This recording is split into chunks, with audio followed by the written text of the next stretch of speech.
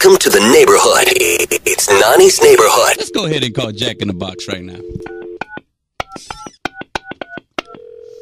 I want to see what's going on with this brand new Outlaw Burger.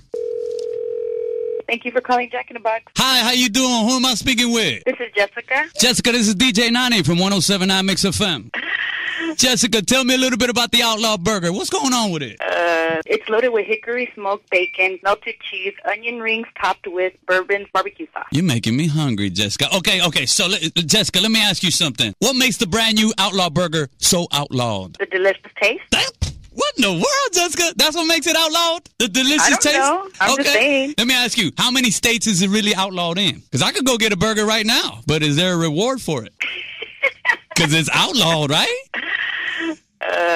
Good question. Don't be twisting me up, young lady. I know you, you know, you're doing your job and stuff, but if we're gonna be talking about this uh, burger being outlawed, I want to know how many states it's outlawed in, and is there a reward? Because I got my rent coming up, girl. That's what I want to know, and the listeners want to know that too. Yes, the reward is its delicious taste. Now, Jessica, and you said the Outlaw Burger is loaded with hickory smoked bacon, melted cheese, onion rings, and topped with bourbon barbecue sauce. Bourbon. Let's talk about that bourbon. Is it 100 proof? Don't tell me that.